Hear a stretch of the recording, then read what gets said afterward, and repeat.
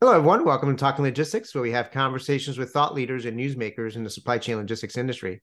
It's my great pleasure to welcome today's program Pervinder Johar, who's Chief Executive Officer at Blume Global. And today we're going to talk about Beyond Control Tower, how cognitive command centers are revolutionizing supply chains. So, like its sibling supply chain visibility, supply chain control towers continue to garner a lot of attention and discussion in the industry but as new technologies and capabilities are introduced, such as AI and machine learning, are we evolving toward a new type of solution, what some are calling cognitive command centers? And what is a co- cognitive command center? What new or additional uh, benefits does it provide? And what's required to successfully implement, uh, you know, such a command center and realize business benefits? So those are some of the key questions we're going to discuss in today's episode. It's great to have Pervinder on the program to share his insights uh, on this topic. So, Pervinder, welcome to the program. Thank you, Adrian, for uh, having me on the program again. It's always a pleasure to talk to you. yeah, absolutely. Uh, you know, we, we always have some nice conversations, and certainly a lot has happened since the last time we talked, including you know Blume getting acquired by WiseTech Global, and I, I certainly want to touch upon that. But I'll I'll wait till the end of the discussion. I, I want to dive into you know the the topic of today's episode first, and so, so you know, like I said, you know, supply chain control towers, you know, have been around for many years, and and I think if you ask, you know, ten people, what is a supply chain control tower, you'll probably get 11, 11 different answers.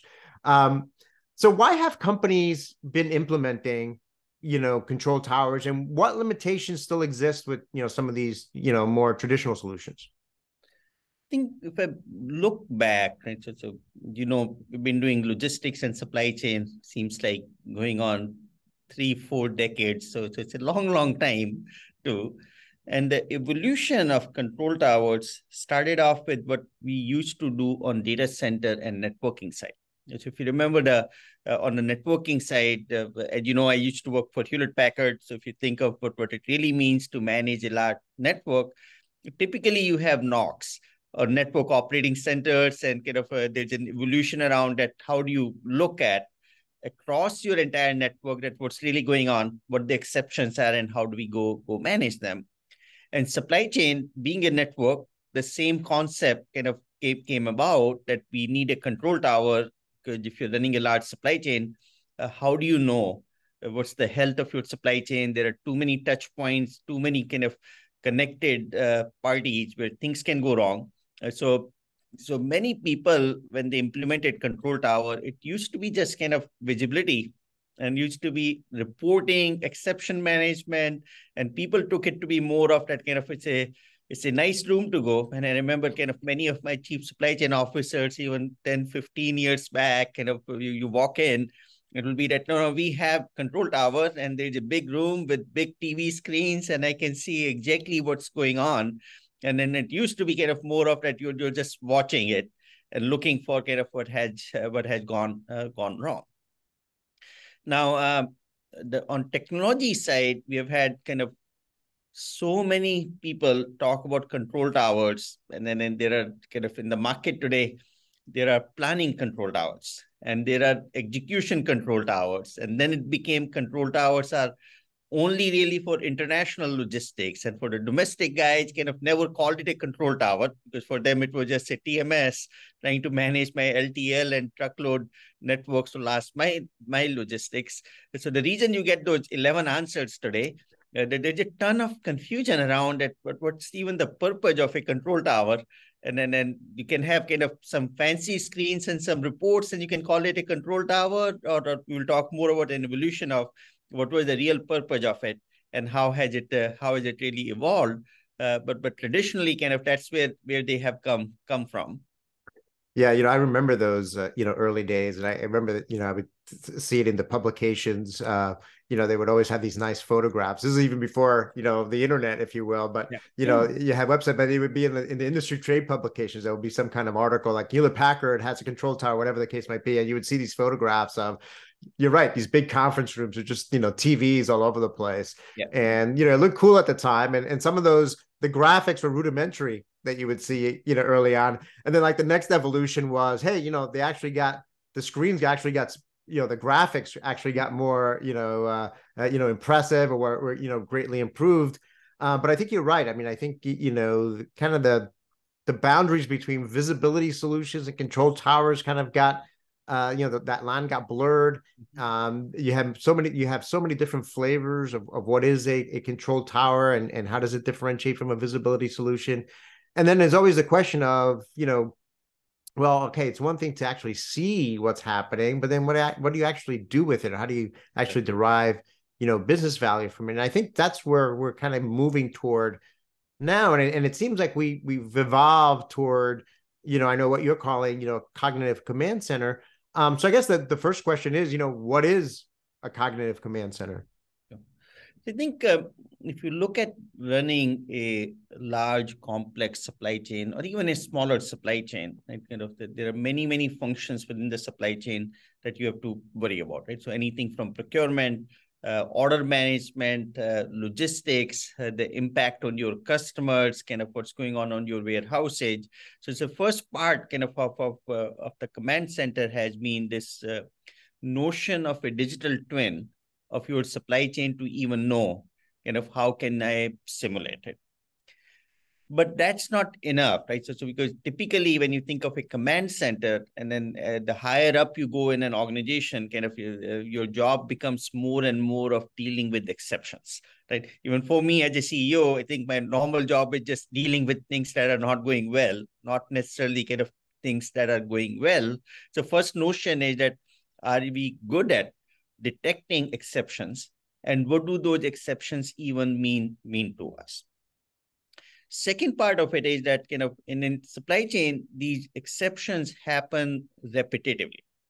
And uh, so, so there as i talk about kind of a, a simplest example right? So there are known unknowns and there are unknown unknowns right? So known unknowns are shipments will run late once in a while your factory will have an issue once in a while. There will be kind of like uh, today, I'm in, um, uh, as you know, I live in California. Uh, and in Cupertino and Sunnyvale today kind of looks like power is out and power is out for a long time. It's been out from last night and it's going to be out till kind of tomorrow uh, as per some reports because of the high wind. Now, again, those are the type of things will just happen. And, and when we start talking about cognitive, cognitive is that as these things happen over and over again, are we getting smarter about it? Or as a minimum, are we handling them the same way or in a better way on an ongoing basis? And both are critical, Adrian, right? So the same way is that kind of when you think of an exception, have we figured out how what will I do in that particular case case or not, right? So so so think of simulation abilities, being able to kind of model that these exceptions will happen and when they do happen kind of what would you do? And we do it very well on the technology side right? We have disaster recovery business continuity plans. We will go and run a test to say that kind of if my primary data center goes down how do i make sure that my secondary data center is up? Are they disconnected? Are they separate? So, so concepts are not new you know, between kind of what we do on our daily life on the cloud cloud software side or running running a data center and what you have to go do on the on on the supply chain side. But this simulation ability has always been missing right? Because you have to be able to plan and predict what type of exceptions will happen and how would i handle them. But then you need a memory to say that this is what i decided i was going to go to and so, so think of uh, cognitive command center. You do need what exception what process will we follow who will kind of do what, right? Because if you don't know that, kind of you can be sitting in a command center just trying to figure out on the fly that what am I going to go do. And the second part is this whole learning ability to say that once you have handled something, right, you, you always have to go back and say what we could have done better.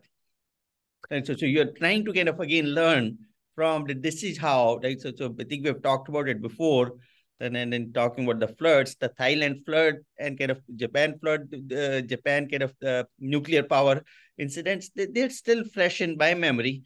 But if someone would have started working in supply chain three or four years back or five years back, they won't even know what I'm talking about, right? So you have to be of that you were living in kind of your early 2010s in the supply chain world to know that those things have happened. Now, they happen once in a while, what is my long-term memory as an organization? And I think when you start getting into that cognitive part, is that it's my long-term memory that this is how we're going to handle uh, things that that happen in in in in future. Of course they need to be modified for the current circumstances.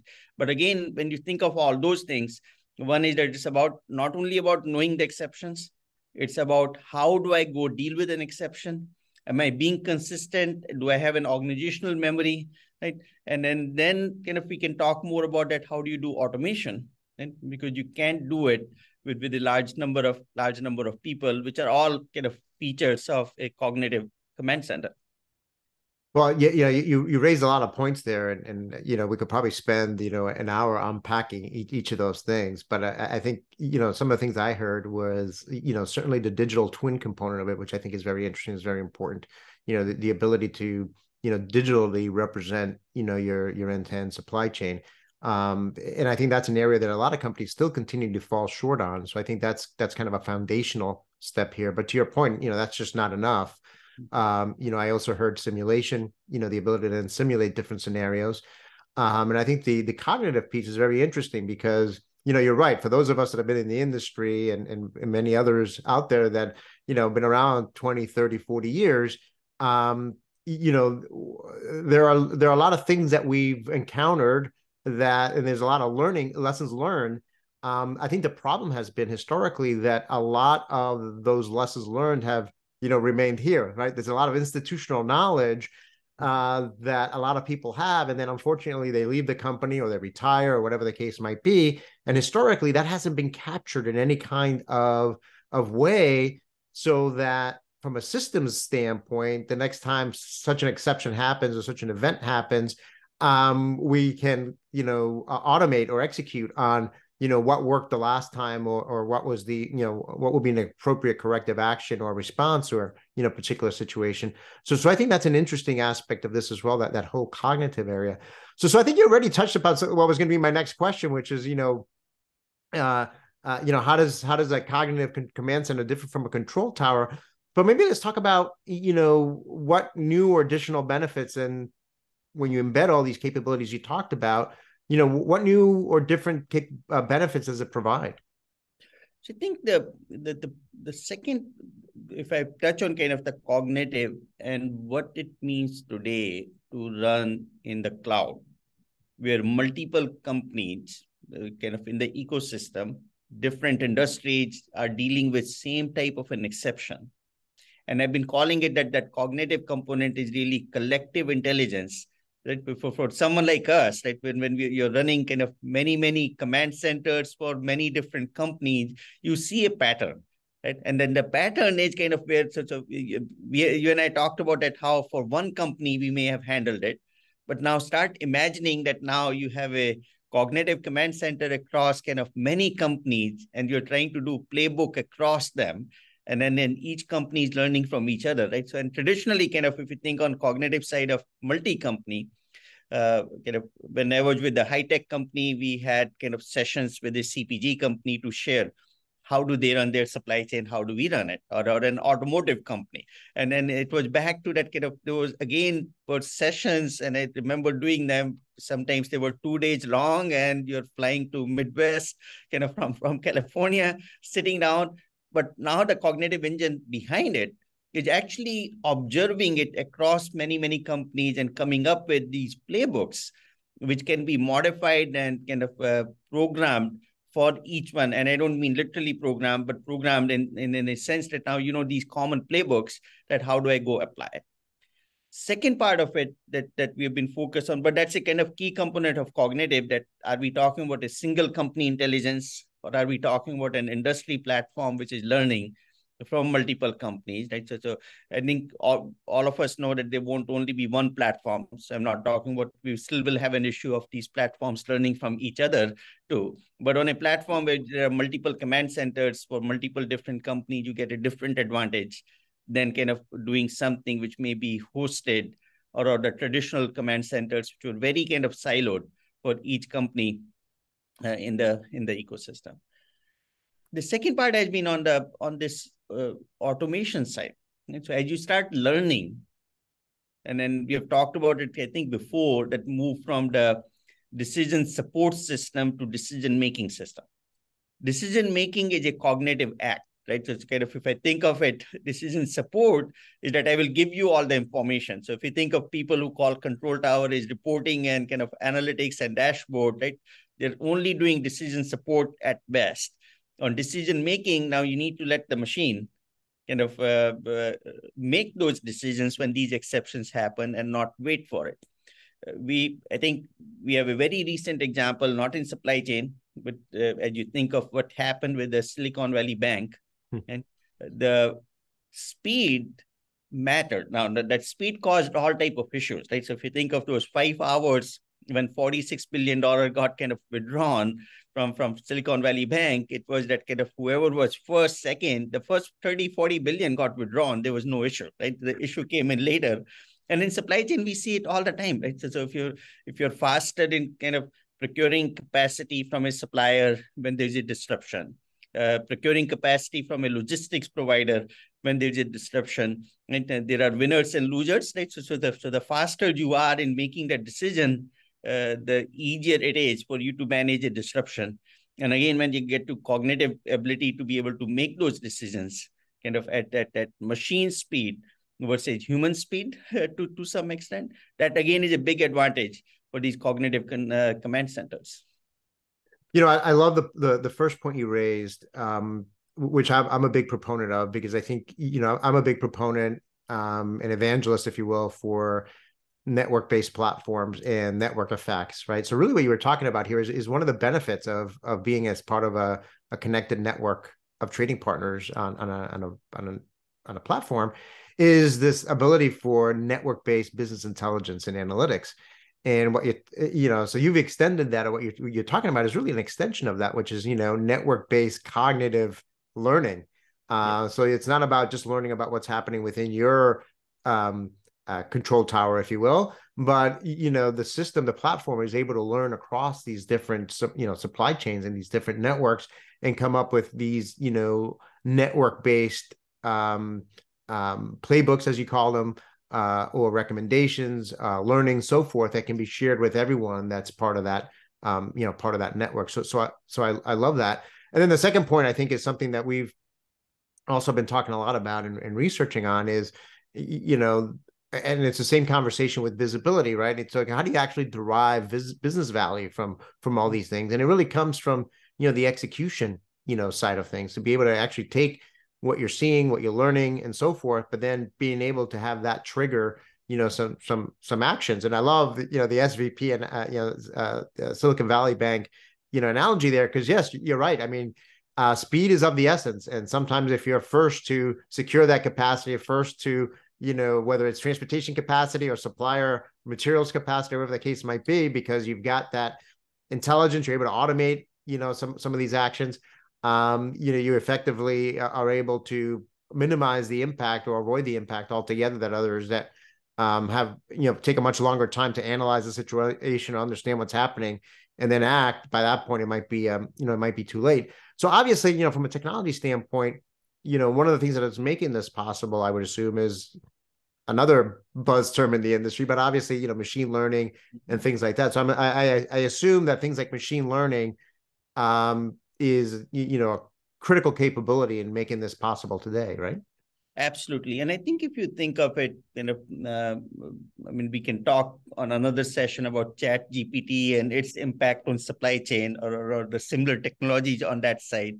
But machine learning, uh, and I think uh, if, you remember Professor Powell from Princeton, right? So he talks about that in supply chain, we have these sequential decision problems, right? And uh, and I was reading his most recent book, and he's talking about kind of how his journey from 1982 to now, where we have moved on from kind of what what used to be um, uh, more optimization techniques to now reinforcement learning and which is a form of machine learning and and and, uh, and an award system. And all of that is now possible not only because of the techniques are available on machine learning and artificial intelligence side but the compute power is such that we can actually deploy those techniques. See, some of these techniques are old, right? But you could not deploy them, even machine learning and others, because you just didn't have enough compute power. And now with the compute power, it has made it all kind of feasible to do them in real time. Uh, versus before, kind of you will you will be sitting in a lab trying to do a simulation for days and weeks. And now these things can happen in matters of seconds and minutes uh, using kind of these newer, both the newer techniques and the compute power, which is available to us.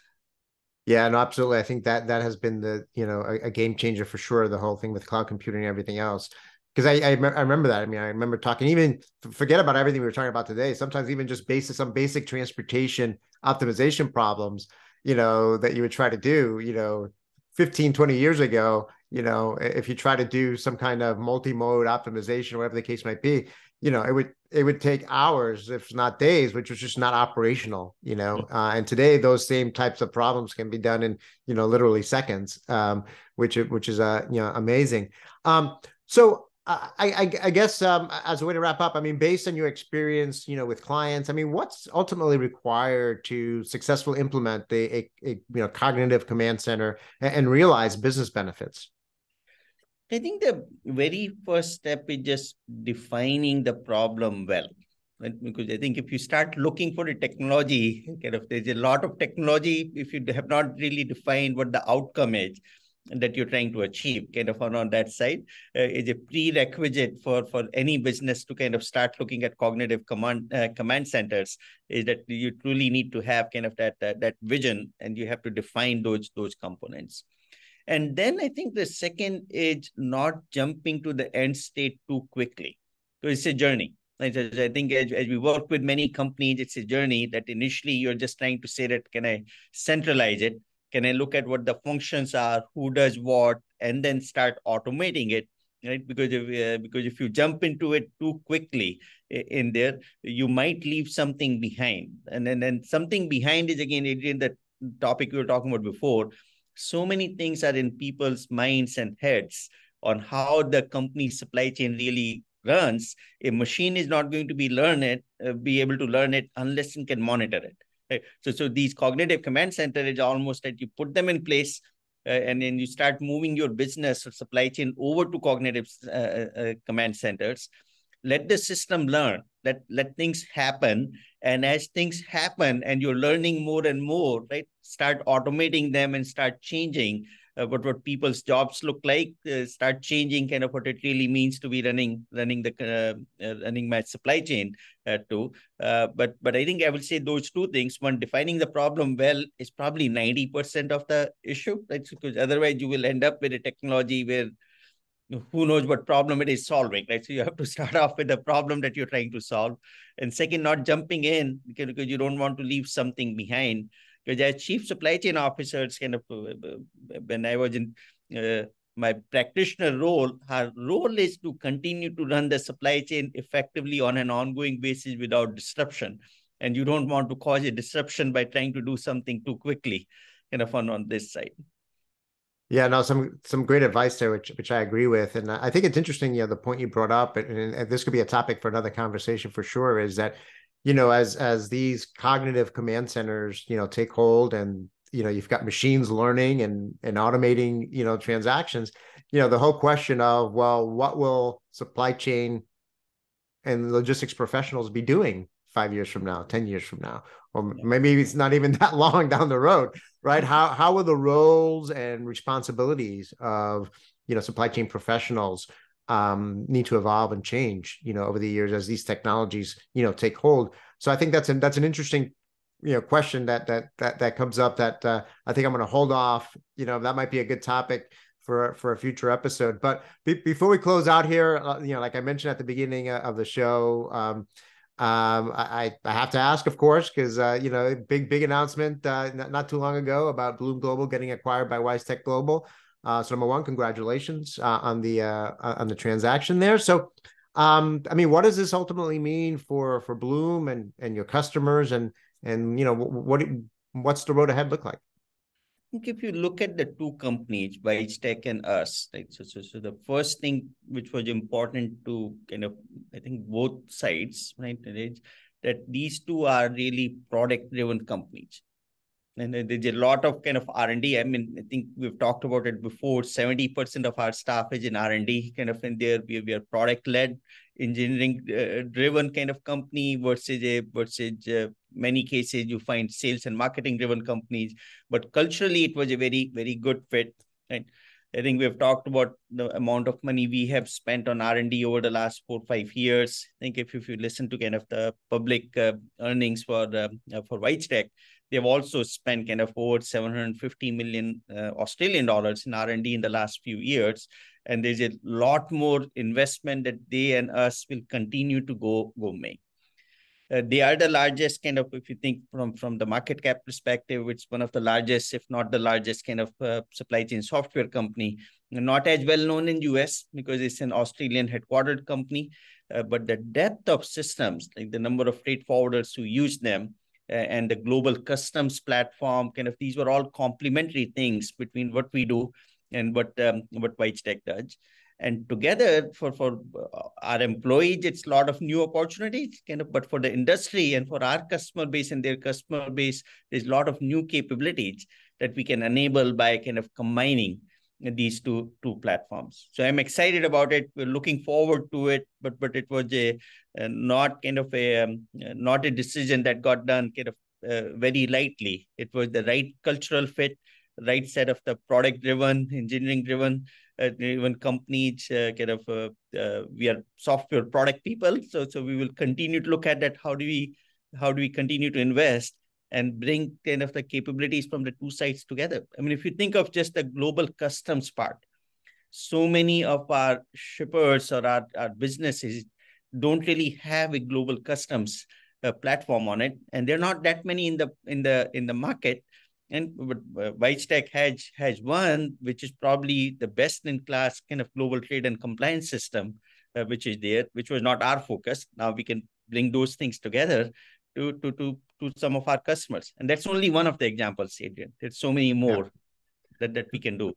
Yeah, no, absolutely. I mean, I I always say there's never a dull moment in this industry. You know, I I I, I after being an industry analyst now for you know over 23 years nothing surprises me anymore and uh you know so I, when i saw the press release uh you know uh, I, you know i i always think the, these types of transactions um you, you know each one obviously is very different um but i think as you described each one uh, also provides a lot of great opportunity not only for the employees and and the teams of the respective companies but ultimately for for customers as well you know, it, all boils down to what we talked about in a different context in this episode. It all comes down to execution, right? Um, so ultimately, um, I, and you said something that I think is very important. That's ultimately important to any the success of any merger and acquisition is the alignment of culture. And it sounds like that was one of the things you highlighted in terms of the, you know, uh, uh, that alignment there between WiseTech Global and and the the culture there at Blume Global. So I think that's a that's a good um, you know starting point for sure. Well, Pervinder, um, you know, I think we could easily spend hours talking about uh, all of these topics. Certainly, the topic of cognitive command centers um, is going to continue to evolve, and, and, I think we'll we'll you know, uh, hopefully we don't wait another a year before we talk again. But I'm sure that if we talk a year from now, um, we'll see a lot more advancements and learnings uh, in, in this area. So again, thank you for making the time to be with us today. No, thank you for having me on the show. Great. I want to thank those of you that joined us. If you're watching this episode on demand, either at the Blume Global website or on Talking Logistics, and you've got a question or a comment for Pervinder, you can post it there. I'm sure he'll be more than happy to respond via that medium. Again, thank you for joining us and look forward to seeing you in a future episode of Talking Logistics. Have a great day.